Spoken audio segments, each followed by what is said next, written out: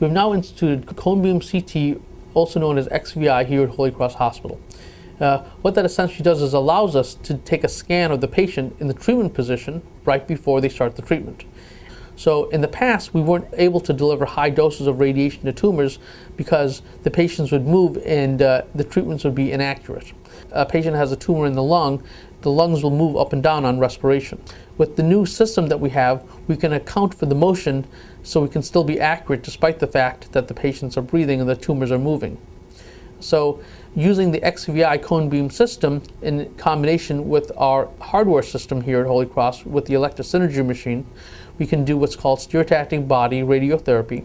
And what this means is it allows us to deliver a very high dose of radiation to a tumor in around five treatments. And that allows for very high accuracy, very high precisely delivered radiation to the tumor, very low dose of radiation to the normal structures, and a very high chance of tumor control. So this patient uh, came to us um, with a tumor in her lung, which could not be operated on. In the past, the only thing that could have been offered is daily radiation treatments for six to seven weeks, would have, which would have only given a control rate of around 30 to 40 percent.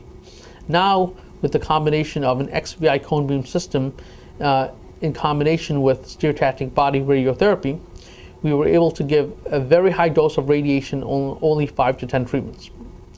And I'm happy to say that the chances of tumor control in that area are upwards of 80 to 90 percent. I've been coming to Holy Cross for over 50 years when we first moved down here. I have a lot of confidence in Holy Cross. Remarked, I think they kind of handpicked these people in the Cancer Center because they're so kind and thoughtful. So uh, at Holy Cross Hospital, not, we're now able to um, offer high intensity radiation to small target volumes with stereotactic radiosurgery to allow better treatments for patients and less side effects.